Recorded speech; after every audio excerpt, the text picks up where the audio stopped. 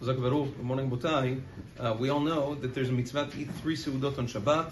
Two of them, according to the vast majority of the Rishonim, have to be held with bread, otherwise a person's not Yotzei the Chovah. Suda Shlishit, it's a mitzvah to have bread, not necessarily obligatory, that we know from Maran Shulchan Aruch Tzadi Aleph. The question is, when a person's eating bread during the Shabbat meals, how much does he have to have in order to be Yotzei Yedei Chovah? It's a tremendous machloket Rishonim.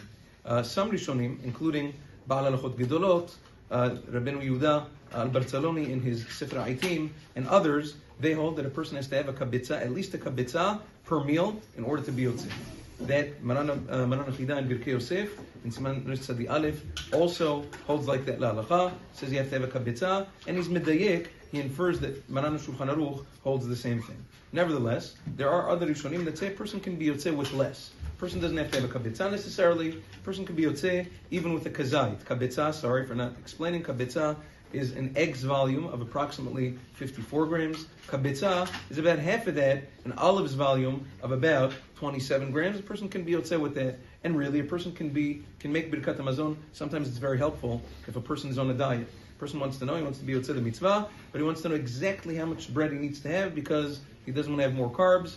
You can be yotzei the according to those poskim, and those poskim also say uh, that Maran holds like them. So Maran can be understood really both ways. La Maran writes in Chazon Ovadia that it's preferable to have a kabitza. Nevertheless, a person is yotzei the with a kazait as well, and you can even say birkat hamazon for a kazait. However, very important this is a very important thing to remember by the Shabbat meals, is that in order to say Birkat Hamazon for a kazait of bread, a person has to have a kazait, not only the amount, but it has to be eaten a specified amount of time, which is uh, during Toch Achilat Pras, which is it varies among the poskim. We hold la halacha, it's approximately seven and a half minutes. If you did not eat your kazait within seven and a half minutes, you're no longer eligible for birkat hamazon. Although there's a shita of the Pri Megadim that if a person throughout the span of the meal eats a little bread here, a little bread there, it's all mitzdaref kazait throughout the meal. We do not hold like that Pri Megadim. La halacha needs to be eaten within one time span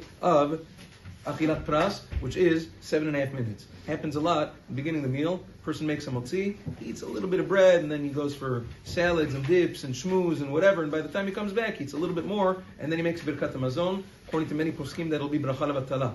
Person should try wherever possible at the beginning of the meal, at least just to get his kazait down, eat the bread. It's not too much eat your kazait or kabetza right in the beginning of the meal, and then eat whatever you want and schmooze whatever you want, so at least you'll be eligible for Birkat Hamazon, Rov Kechol HaPoskim. Have a wonderful day.